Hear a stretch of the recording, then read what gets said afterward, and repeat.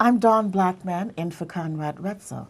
And today, in sitting down with Conrad Wetzel, we have Conrad Wetzel. Welcome, Conrad. Thank you, Dawn. Thank you, Dawn. I understand that there's a big move coming up for you and Martine. Yes. Uh, the 1st of July, we're going to be moving to Eureka, Illinois, to a Mennonite retirement center called Maple Lawn Homes. Uh, we uh, have reached the age where it's timely for us to do that.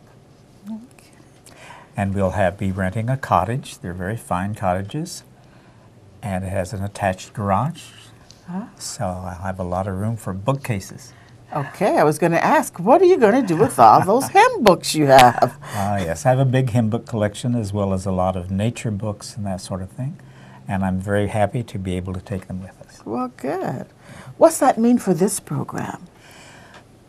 Well, there are ways in which technology would enable me to continue uh, doing interviews.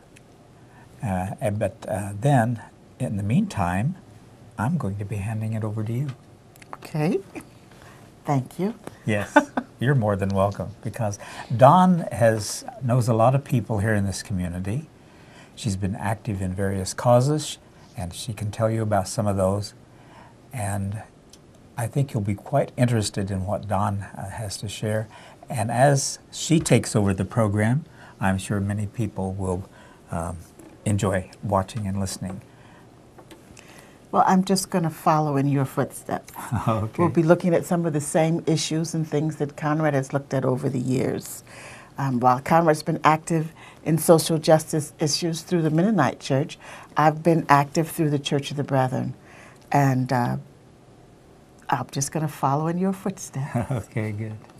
Where is the Church of the Brethren? the Church of the Brethren is in Champaign. It's on Neal Street, just north of Bradley Avenue. We are in the 62nd year in that location. So- And as people drive along Neal Street, what will they see at the front of your church building? Well, they'll see a yellow brick church, and underneath the stained glass window, there's a banner that says, Peace and Social Justice Practiced Here.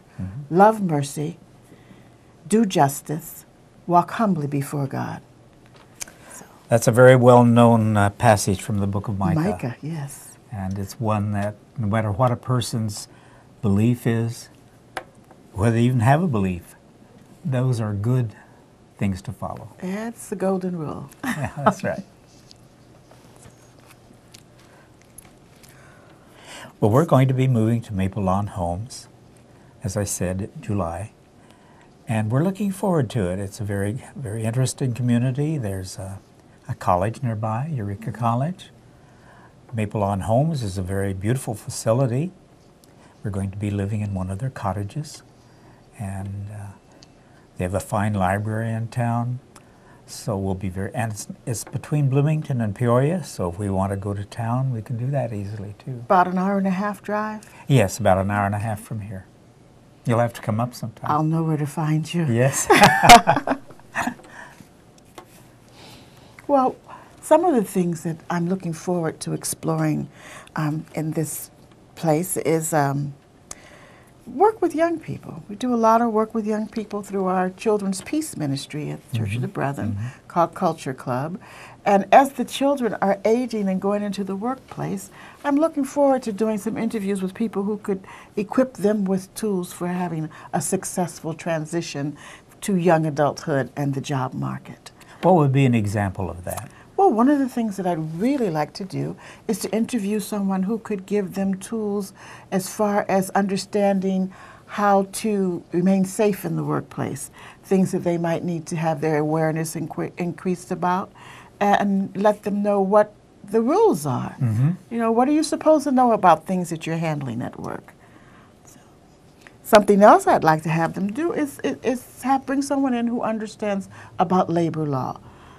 Everybody knows the minimum wage, but for most of us, that's where our information ends. So mm-hmm. I'd like to bring someone on. I'm going to bring someone on who will speak to labor law, particularly aimed at new entrants into the job market, our young people who are just getting started.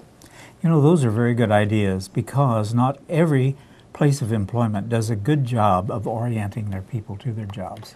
Sometimes it's uh, crunch time when you get a new employee, Mm-hmm. and they learn to do the job, but they're the little auxiliary things that could be helpful don't always get transferred right away. So. One of our features is going to be where have all the groceries gone?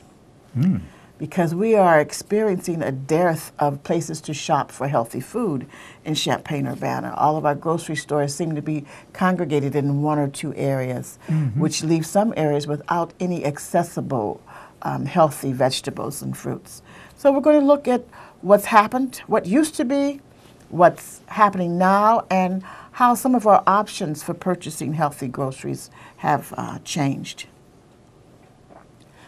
Now, what uh, what has equipped you? What experiences have equipped you to address those questions? Well, one of the things is my participation as steward for the Randolph Street Community Garden. Um, it's located between Randolph Street and Neal at Beardsley Avenue in Champaign, uh, on property owned by Unit 4 Schools. We're right between Stratton Elementary School and the Columbia Center. Uh, that area has no grocery stores that are accessible. It's only been within the last month that you could even buy bananas, apples, and oranges at the gas stations. So we've been having uh, an organic garden there on that property. I've been steward for seven or eight years now, and the the garden existed prior to that under the leadership of the extension master, Gar- master gardeners. And prior to that, it was a student project. Urban planning, an, an urban planning student started the garden as her project. And when she graduated, they tend to do that, the, Yes. the uh, master gardeners took over. And when the master gardeners withdrew, then I stepped in, and Church of the Brethren became the fiscal agent and the sponsor of the garden. Very good. You know, that's uh, an excellent project for a church to be involved in because it touches people's lives in a variety of ways, doesn't it? It does. I mean, in addition to growing groceries, things for people's tables, the garden's become a spot for community building. And we're very pleased about that.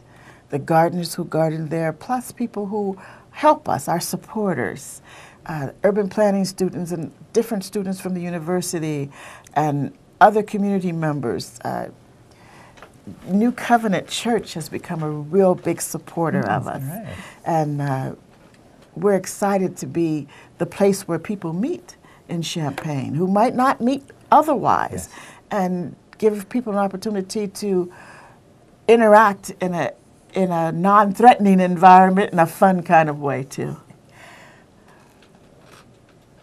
I attended an event that you had where people could come in, they could see the gardens, and then uh, we had a potluck. A number of people came. Tell us about that event. Who are some of the people who came? Oh well, that's our annual garden party. Oh, yes. It's our last, e- usually our last event in the garden before we close it, and uh, it's a 1920s themed garden party. We wear big hats and long dresses and white, even though it's after Labor Day, and uh, we play croquet and badminton and eat lots of food that Yes, everybody yes. Brings. It's a potluck. And uh, last year we were really pleased that the mayor of Champaign came. I think he was not planning to stay so long, but he was having a good time, I so he hung out with us for a while. Yes. And all the children have their garden uh, beds all fixed up, and we have signs telling who's in what bed and what's happening in, with the group that's in there. And all of the gardeners come, the students who assist us come, they, the neighborhood comes. You and Martine were yes, there. That's right. And I remember how happy the children were to show off their produce. Oh gosh, They The- really- especially the young guys, they were so proud of Yes. their beds. They work hard. Everybody works hard on those Yeah, beds. that's right. This year we've increased our um, our garden too. The uh, school district was kind enough to authorize more use of the land, Ah. so we have some new beds. And we took some of the larger beds, which were a little bit unwieldy, and broke them up into smaller Mm-hmm, beds. And we had a big uh, work day just last weekend. Um, it was really exciting. We had uh, friends and neighbors and who owned tools and knew how to use them. So we were able to get the beds divided. We were able to get uh, compost moved into the beds. It was really a great day. We also got our uh, our fundraiser started because in the fall uh, we were given a grant to um, help the garden, and what we did was buy some bulbs. So we planted those bulbs, and 1,000 bulbs we planted, and we were able to harvest some of those which were ready to bloom. So now, as our fundraiser, we are selling potted daffodils and grape hyacinths and tulips to uh, support the garden. We need new tools. How can people buy those? They can either uh, come by the Church of the Brethren at 1210 North Neal, or they can call me at 217 398 2787. Repeat that. 217 398 2787. Yes. And as soon as the weather gets a little bit warmer, we're going to set up shop somewhere, either at the church or at the uh, Fresh Catch Fish Market there on Randolph at Maple Street.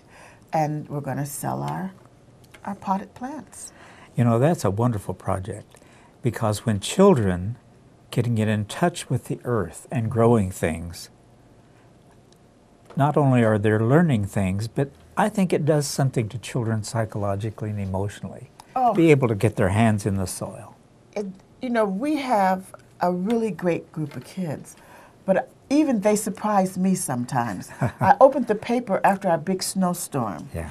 And on the second page, right up front, there were four of our gardeners, and they were out with shovels shoveling snow.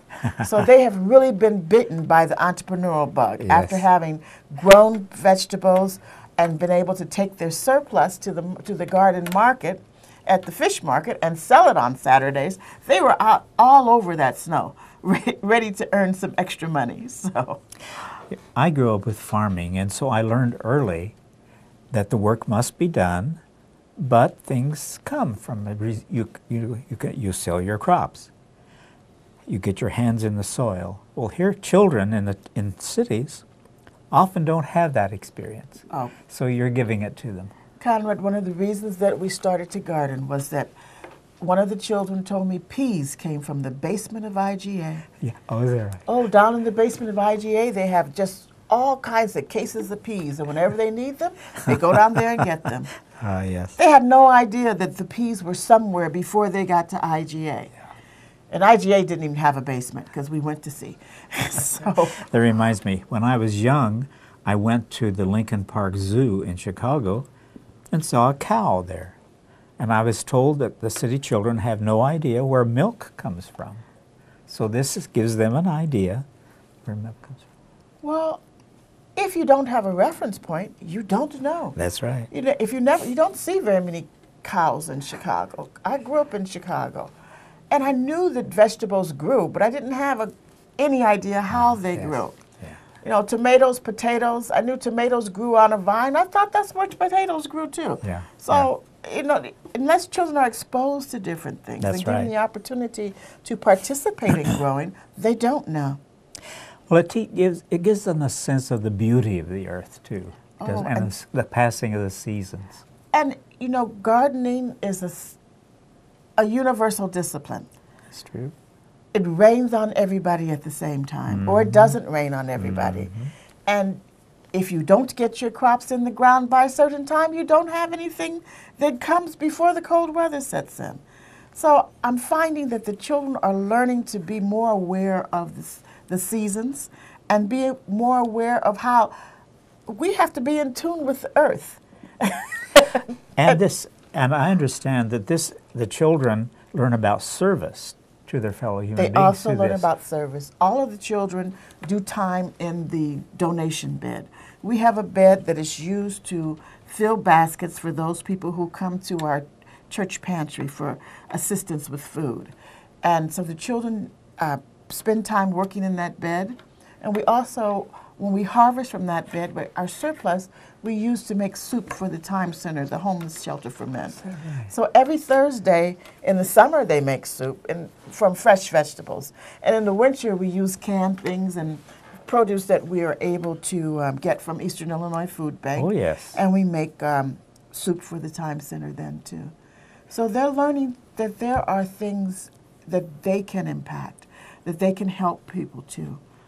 You know, if a child can grow up with an experience with the earth, with working together with others, in order to serve the needs of other people, they have learned some of life's most important lessons. I think so too. Mm-hmm. I think so too. One of the things that we do with Culture Club is to provide children the opportunity to learn about one another. Yes, We have such diversity in our community, and our children go to school together, but they frequently have no contact after school. Mm-hmm. One of the things I've always been pleased about with Culture Club is that we, we draw children from all across the community. As a matter of fact, on, in the garden every morning, Monday through Thursday from 8 to 10 this summer, we'll have a free gardening program for any child in the community who wants to stop in, garden in the bed for this for donation, Yes. even have a little plot of their own so Oh, that they can grow things for their families. And um, eh, we're going to be serving breakfast. I just learned yesterday that Unit 4 School District is going to extend their breakfast program to us. Mm, And the ladies right? will be coming about 9 o'clock with a cold breakfast for the children. And then at 11 o'clock uh, at the church, they're going to bring a hot lunch. So any child up to age 18, 18 and under, who's in that area, who's can just drop in and have lunch with us and do a craft and participate in the program. Now, what did that sign in front of your church building say? It says peace and social justice practiced here. Love mercy, do justice, walk humbly before God. And so the, you have been describing some very practical, down to earth ways in which that's true. You know, in our walk, we try at Church of the Brethren to continue the work of Jesus. Mm-hmm. And basically, you look in the Bible and you see what Jesus did, and then you figure out a way to do that today. And there are many opportunities in Champaign to do that. That's true. There are many needy people in Champaign Urbana. There are, and but there are also people who uh, can teach us, and we can learn from one another about different cultures, about one another's cultures.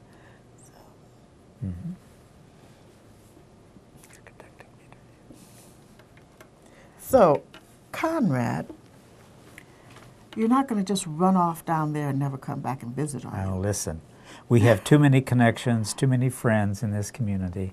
We will get back down here now and then. Yes, we will. Okay. Well, we're going to, again this year at the Garden, be the ending point for the Freedom Ride, the Juneteenth ride that celebrates um, the end of, the beginning of emancipation when, t- when those people who were enslaved in Texas got the news, sometime in the middle of June of that year. So it's called Juneteenth. Uh, the bike group has a bike ride. Y- You won't be riding in the bike ride with us, will you? no. But you could come for the party I could come for the party. And we'll also be having our garden party. So, Okay. Now, again, the date? well, we have to wait. Every year we, we set it according to how our crops came in. I see. Okay. So the the um, garden party is after Labor Day and sometime before October. So now, how can people know when that date is? we'll it'll be in the News Gazette calendar. We All always right. use the News Gazette calendar to let people know Mm-hmm. what's going on. And we'll also have on the signs out in the garden. And we'll be texting people and letting them know. So if you'd like to be on our text list, you could send you could call your telephone number into that number 217-398-2787 leave it on my voicemail and say that you want to be added to the garden's text message list. And when we have events going on we'll text you. So, You know, as you plan your schedule here now that you're going to be doing this program, uh, as that time draws near, you could have somebody in who's going to be involved in that. i sure will we'll have one of the bike or ride organizers come in and talk about the ride and i i think i'm even going to ride this year How are you? i have a bicycle now Well, hey, hey, hey. Good for you, Dawn. so i have a bicycle and a helmet Yes, yes. And we'll also be looking at um, the way that things happen in our communities and keeping people informed about study sessions. Mm-hmm. If there's going to be a study session on will we have chickens and Champaign, Mm-hmm. we'll let people know about that. And You know, chickens and gardens belong together. I think so too. Look, what better way to, to get the insects off the plant than to have chickens there? That we always had that in our house. Well, I always ha- I have this little dream of giving each of the children a little chick for Easter, Yeah. and then we can keep them in the garden. Yes. and they can see that eggs come from chickens, There's a and whole not IGA. That's right. There's a whole sequence to life Sure there is. unfolding. And we might even push the envelope a little bit and see if we could have like a sheep out there to eat the grass. Hey, hey, listen. Why not? You know, I, I don't know what the, the city ordinances are, but they need, if they don't include opportunities like that, they need to be broadened to do that. Well, right now in Champaign, we can't have barnyard animals. Yeah. But I'd like to see that changed. Ah, yes. And there are a number of other people who are interested in seeing it changed too. You know, have you ever gone to a meeting of the Champaign City Council? I have, and I watch it on television Okay, quite you should you should get on there sometime. Also, the University of Illinois uh, uh, AM radio has uh, you can get on and talk about something called uh, the public square, and that you know I think there are a number of venues. You know, uh, the even the Illini unions. Uh, I mean the uh, University of Illinois paper. Uh, they carry items like this. Get get interviewed by these people. Well, you know, they're going to be we're going to be doing opening up some opportunities for young people as well. Yes. Uh, our baking groups that are part of the Culture Club program, uh, the Fabulous Baker Girls and YBs for young bakers. They're going to be having an event to show off what they've learned this summer in camp. And they'll be baking and preparing even a few meals and learning to set the table and just I think I may even have one or two of them on this show. Well, of course. Now, you do something about Martin Luther King Day every year, don't you? Yes, every year the Church of the Brethren hosts the Martin Luther King Jr. Peace Banner Workshop, where we invite members of the community to come in and create a peace banner, a banner on the theme of peace or on one of the themes of Dr. King's speeches, mm-hmm. as well as have a volunteer project for children. There's so many volunteer projects going on, but they're not always aimed at the children. Yes. And we believe that Martin Luther King's birthday should be not just a day out of school, but a day on. So we Okay. provide actual volunteer activities for them to participate in where they can contribute to their community. It sounds like uh, there's not much that you don't do at the Church Oh. of the Brethren. We're a pretty busy group. yes. We're a pretty busy group. But sometimes we have to slow down and close out one activity to begin another, Mhm. and it's time to go now. Mhm. And so I will say, good luck in your move. Thank you. And Thank to you, our audience, I will say, goodbye for now.